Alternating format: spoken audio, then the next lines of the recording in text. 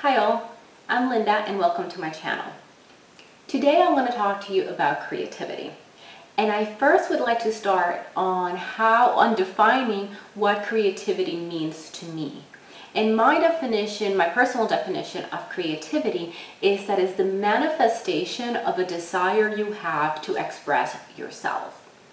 I do believe that everybody is creative because I believe is an intrinsic part of who we are as spirit. It is an intrinsic part of our soul. And we are all born creative. Um, it's just that sometimes the definition of creativity is a little bit limited. So for example, most of us, when we think about creativity, we think of what I like to call artistic creativity, which is more, um, you know, things like painting or maybe singing or playing an instrument, writing music, writing poetry, that sort of stuff. But I do, and while I do think those are great expressions of the self and they are incredibly creative and beautiful and enjoyable, I don't believe that they are the only things that we can consider creative in our life. I think our society and even my own upbringing creativity or artistic creativity wasn't something that was encouraged or fostered, right? I think we live in an environment where, for the most part, what is most valued about a human being is either their appearance or their intellect. Their in when I say intellect, I mean, you know, their knowledge, their thoughts, their intelligence, etc. And, um, and creativity is valued, but it's mostly usually seen as a gift that some people, an exclusive group of people have, not something that everybody has or that everybody can develop. And while I do believe that there are some people that are very gifted, particularly some artists that are born with a really great gift, I do also believe that all of us are creative, that being creative is an intrinsic part of who we are because we are a derivative of source, a fractal of source, which is the origin of all creation. So really this video is um, intended to try and reframe a little bit for people what creativity is, because I do think it's a very, very important part of your development as a soul and your development as a spiritual being for example, like I said before, I didn't grow up in an environment where um, creativity was something that was encouraged or fostered, or I should say artistic creativity wasn't something that was encouraged or fostered. I grew up in an environment where what was most prized about me was my intellect, my mind, uh, my thought process, my intelligence, etc. So even though I was very drawn to certain um, artistic, creative aspects like music and dancing, that was never something that was encouraged. It was something more that was viewed as an entertainment, right? You can pursue that as something that is entertaining or that brings you joy, but it's not something that you can pursue possibly as a career or as a way to navigate the world. And um, as I got older, you know, that sort of was um, ingrained in me as a child. And, it's, it's very true in our society in general. That is usually the way most people are brought up. Um, not everybody, but most people. And, um, you know, as I grew older, I sort of adopted that as my own perspective because that's what you do. That's what I was taught, so I believe that that was my own perspective. And while I always recognize that I was somewhat creative in some areas of my life, I didn't consider myself a creative person. So for example, I always thought that I was creative uh, in when it came to problem solving. For example, I have uh, I work in technology and I have a very um, intellectual, if you will, uh, job, and my mind works in a very process-oriented way most of the time. So for me, my version of creativity was like when people said, "Oh, you can be you're very creative," I was like, "Well, no, I'm not really creative. I'm only creative in um, from the perspective that I can find creative solutions for problems, right? Uh, or creative ways of getting something done, or I could be very resource resourceful. And well, I consider those things to be a creative creative aspect of me, I also sort of always said it in quotation marks, right? I am creative because I didn't really believe that that was part of creativity. Now looking back on that, um, I can think, I, I, can see how that was just a way that my creativity was trying to come through in my personality and in my day-to-day -day activities, right? So I do, um, and through the process of that, I develop a lot of set of skills um, or a, a lot of skills or a set of skills that was really helpful to me um, in the future. However, I never really uh, pursued any artistic creative endeavors because I just never considered myself to be a creative person. Um, it wasn't until I started my uh, spiritual journey, uh, which I believe was now back in 2012, a few years um, into that journey, I started having really much more of a need to express myself in a more creative way. And I always, I remember when I talked to people about it, I was always saying, well, I'm not a creative person, so, you know, I can't draw, I'm not really a good singer, and I don't, you know, I can play the piano a little bit, but not too much, etc. And I really just felt like I was too old to pursue any sort of artistic creative endeavors. Um, but as I worked through my own path, I started realizing that it, it, became more about expressing myself. And I think that's really where the value of creativity is, in that it allows you to express your unique self out to the world in a way that is really only specific to you and only unique to you. So that journey actually led me through a very convoluted path in um, to develop some creative aspects of myself. So for example, um, uh, as I started my spiritual journey, I was really drawn to crystals because, well, you know, I'm a girl and I like shiny things, and uh, but also because I always found crystals just very, very lovely and interesting. You'll see that I, I usually am often wearing uh, crystal jewelry. Excuse me, this is jewelry that I make. This is carnelian and uh, smoky quartz, I think. Um, but I, I really have a love for crystals and I started using crystals to enhance my healing and to enhance my own spiritual journey. And through that process, I started making bracelets and jewelry out of it because I wanted to be able to carry them with me all the time without having to have a little bag for them or having to leave them roaming around in my purse. So the easiest way to do that and this came up as a friend of mine, I gave some crystals to a friend of mine and um, he suggested, he's like, oh, you know, this is kind of hard for me to carry. Can you make it into a necklace or a bracelet? And I was like, oh, okay. Uh, so long story short, that's how I started um, it, creating crystal jewelry, which I still do, but um, but that's how that process started and that actually gave me a great outlet for my artistic creativity now, I have never done anything like that before. I can't draw to save my life. I've never really expressed myself artistically in any way. Um, but it was something that sort of came up very naturally as part of my own journey. I just felt drawn to express myself and felt drawn to crystals and it just seemed very practical to create them to put them into pieces of jewelry because that way I can carry them with me very easily all the time. So that sort of happened of its own accord. It wasn't anything that I forced or really thought true. It just kind of came about as part of my journey. Um, now, I wasn't great at it at the beginning, right? I, I started, I didn't really know how to make jewelry. I figured that learning how to do bead bracelets, you know, with crystal beads would be very easy. So I started looking into that. I went on YouTube and learned a few things. And then from there, um, I started trying to imitate some other pieces that I have seen um, online and then from there I started developing my own designs etc so it was a process that took about I don't know maybe a little bit over a year for me to get more adept at creating jewelry. But what is interesting is that it's not something that I ever consider that I would do.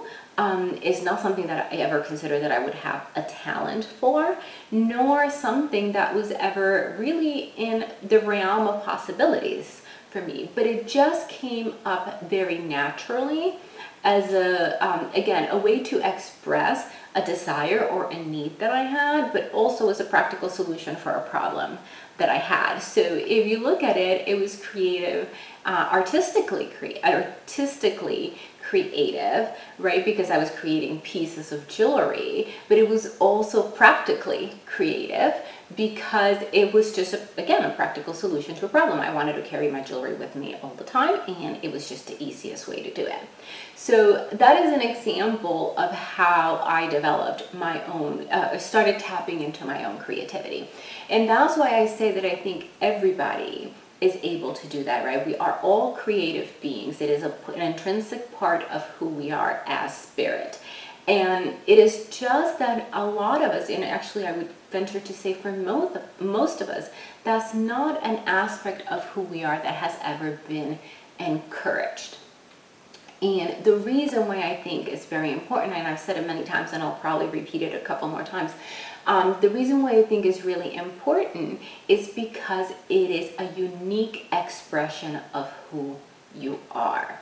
So I want us to, I want us as a culture to really try and redefine what our idea of creativity is and to understand that it goes beyond uh, something that is beautiful or something that is um, moving, you know, emotionally moving to someone else. It really is just about our own expression of who we are and how we present that to the world. So with that, I would like to touch and give a few suggestions for those people who may be interested in pursuing or opening up that door of creativity in their lives. Um, there's a few suggestions that I like to make on how to go about doing them. And um, the first thing that I would suggest is um, to maybe create a list of maybe one to three, one to five things that you've always had a desire to pursue in your life. Uh, for example, if you've always wanted to learn how to dance tango or do ballroom dancing, for example, or maybe even create jewelry, or maybe you've wanted to learn how to play the piano, just make a list of one to uh, one to three or one to five, like maybe, I don't know, a handful, let's just say a handful of things that um, are considered creative um, that you've always wanted to pursue but never had the time, the courage, the interest, the money to pursue, etc. And I would also suggest if you can rank them in order of preference. If you don't, uh, if you, if you know a couple of them are things that you really want to do and you can't rank them uh, in order of preference, that's okay. Just make a list of a handful of things that you've always wanted to pursue. The second thing, and I'm sorry, I'm just looking at my list here to keep on track to um, of what I'm saying, but um, the second thing that I would recommend is that um, pick one of those things. That is the one that either is what you think, you believe would be the easiest for you to learn and pursue, or the one that inspires you the most. So you don't, if there's one that meets both criteria, then excellent. That's the one you want to pick. But you could pick one or the other, right? It's Just one that is easiest for you learn to learn. I understand that most of us don't have a lot of time in our schedules, you know, between work and, and um, home life and um, you know family etc you know sometimes it's really hard to dedicate the time to learn something else or to pursue something else. So if you would prefer to pick something that you think would be easy to learn then go ahead. Please go ahead and do that first. Then the second thing, um, the, or the third thing that, um, you, or the third step, I should say, is to try and learn that thing. You know, if you have the funds and the time to register, you know, to sign up for a formal class, then that's excellent. Go ahead and do that. But nowadays, you know, in 2019, that's completely unnecessary. You can do a Google search or go on YouTube and find a million videos of how to do whatever it is that you're wanting to do, trust me, even the most random things. But um, that's how I learned to make jewelry, just by looking at a bunch of videos. That's how I learned to do a bunch of things in my life that I've done recently. Like I painted my bedroom a few, I don't know, maybe close to a decade ago. And I learned how to do that through, uh, with a particular pattern through YouTube and uh, what to buy and how to prepare for it, all of that stuff. So you can go on YouTube, you could do a Google search and you'll find how to do just about anything. So those are the first three steps that I would recommend that you try. Then the next thing that I would suggest is to um, set up a time every week. It doesn't have to be every day, but at least every week where you can go ahead and spend some time, maybe an hour or two, dedicated to that endeavor.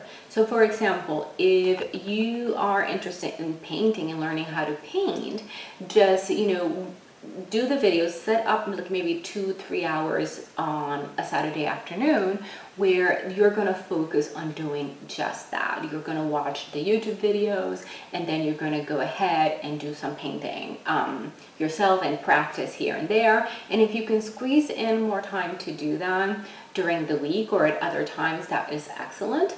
But if you don't, that's okay. Just set aside some time for yourself. This is the time that you're setting up for you to express yourself and to learn something and to pursue a creative endeavor. So it's just time for you to really get in touch with who you are, what you like, and express that, okay? Now, that can be done in all so many ways. If you, another thing that I would suggest is a lot of people that have children, you know, don't have a lot of time to, um, don't have a lot of time to spend, you know, doing, pursuing something like painting, whatever. Well, painting, uh, things like uh, music, learning how to play the piano, learning how to sing, are great activities to include your children in, right? Uh, ideally, you'd be able to do that as your own, in your own time, as your own particular project. But if you cannot, then bring your children in to it. You know, make it a fun activity for them as well as for yourself. Um, another suggestion that I would have is that um, you can you share this with a few people in your life. Now if it's more comfortable for you to keep this a secret which is was my case when i did some of this started pursuing some of these things um, i just wasn't very comfortable um, sharing it with other people. But i did share it with one or two close friends because that is a way that you can uh, hold yourself accountable but also a way to encourage yourself To encourage yourself. Because if it is for example in my case I shared it with a couple of good friends and every time I talk to them they're like oh how's your singing class going? How's your painting class going? You know um, how is this going? Are you enjoying it? And it's actually an exciting um, you know an exciting conversation to share this new thing that you have always wanted to do and that now you're trying okay so again, you can share with whomever you want, but if you don't feel comfortable sharing it and you want to keep it secret, I still will encourage you to share it with at least one or two other people with whom you can share the experience and really just share the joy of the experience. Another thing that I want to suggest, and it's not necessarily a suggestion, but something that I want to remind people um, about is that you're not locked into this, okay? So if, say again, let's use the example of painting again. If, for example, you decide that you want to learn how to paint and you try it for a couple weeks and you end up figuring out that you really hate it, that's perfectly okay. You don't have to stick to it. If you really are not enjoying it, that's, you can cross out of the list and move on to the next thing on your list, right? Because what we're, what we need um, to remember is that what we're trying to do here is do something that is a, a, an ex becomes a natural expression of us, but that is also something that brings us joy, that is enjoyable for us, and that it brings us joy and a sense of accomplishment. If it's not meeting that criteria, then chuck it, push it to the side, move on to the next thing, okay? And um, the last thing, the last suggestion that I have is, well, rinse and repeat, right? So if, um, you know, whether you decide that you don't like what you're pursuing uh, and want to do something else, or if you do like it and then you become better and better and better at painting, once you've accomplished that, um, you can continue that as a hobby or even make it a career if you wanted to, but then just move on to the next item on the list.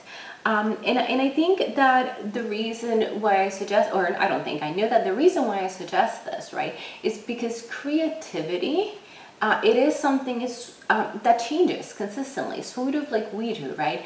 Um, as we go through this journey, we change. And as we change, what we like, what we love, what we enjoy, also changes. So let's keep that in mind and continue to move um, along in our lives and our creativity will also be catching up with that. So the more that you, um, the more that you sort of engage those creative juices, right, the more adept you become at well, being creative and expressing yourself.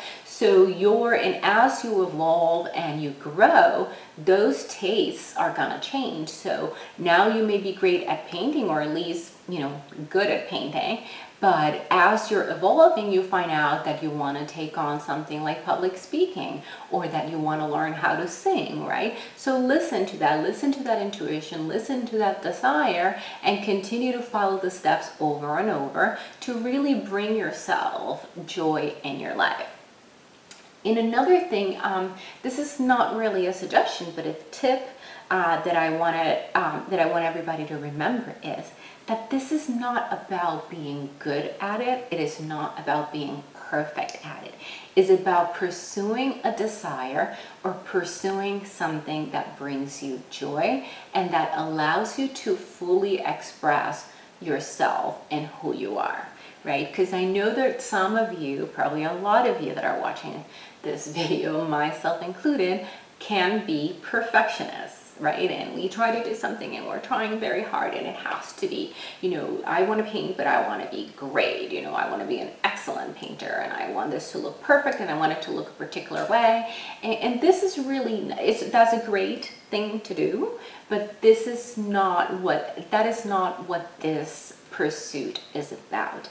This is really about bringing you joy, something that brings you joy and that allows you to express yourself and express your creativity out to the world. Okay? Well, I hope this video was helpful. As usual, please feel free to put down in the comments any suggestions you have for exploring or developing your creativity, whether it's something that you've heard from someone else or something you've learned through your own journey. And also, if you have any questions, feel free to put them in the comments and I'll try to answer them as best as I can. Thank you for your attention and until the next time. Namaste.